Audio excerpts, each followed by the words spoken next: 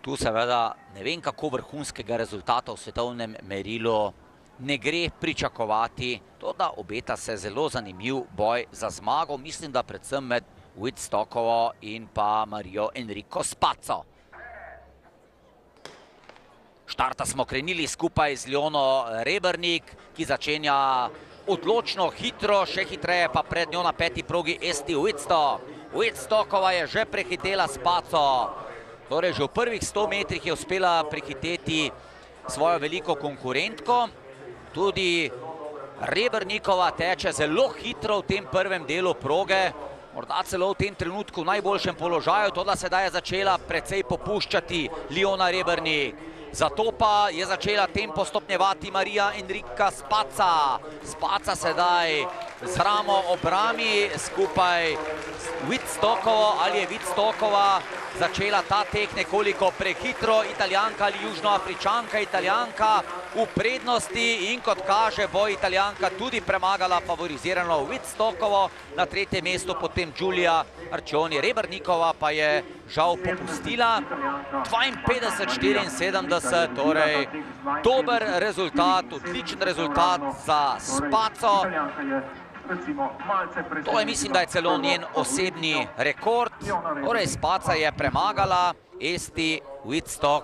Mislim pa, da je južnoafričanka ta tek začela prehitro na stopu pod 50 sekundami. Brent Larue. Pa na šesti progi odlični italijan Marko Vistali.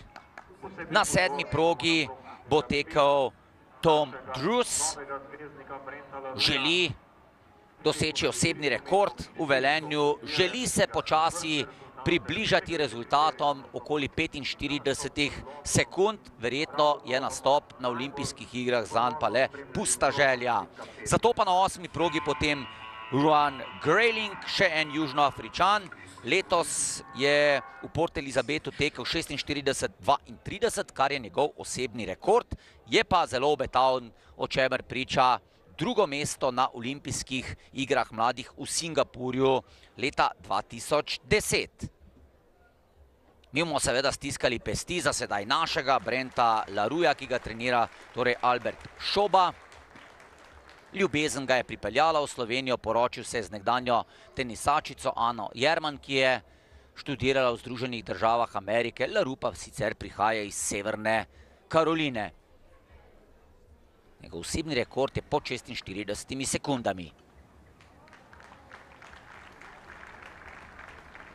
Stil na prvi progi, Ketlo Gecve na drugi, Strehan na tretji, Mogavane na četrti, Laru na peti, Vistali na šesti, Drus na sedmi in Grayling na osmi progi.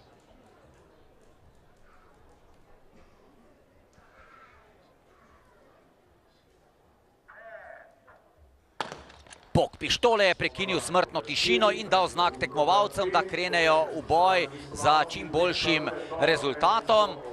Koliko bolj rezervirano je začel Marko Vistali na šesti progi, dobro Brent Larue in pa tudi Ofence Mogavane, južnoafričan, eden od seveda favoritov, glede na letošnje rezultate celo prvi favorit tega teka in na polovici proge je tudi bil v najboljšem položaju.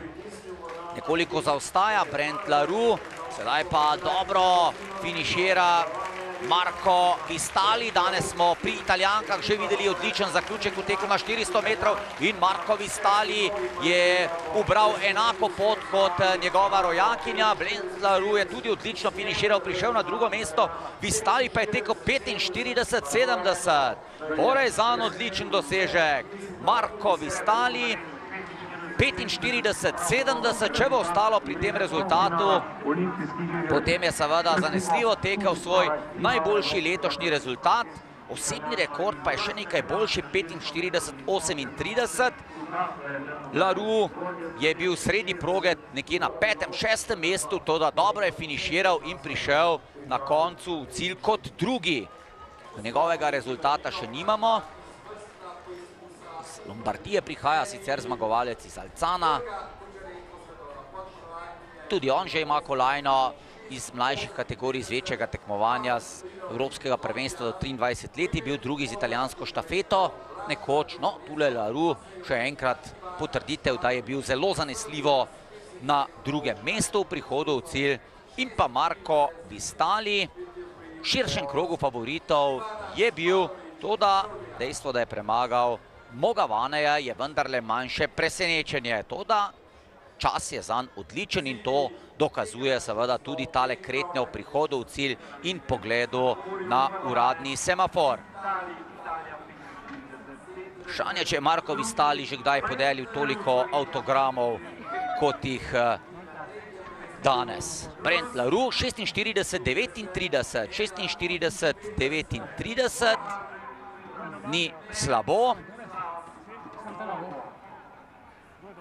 Tehnični direktor Atletske zvezi Slovenije, gospod Mikuš v vlogi moderatorja na velenskem mitingu in pa uradni rezultati.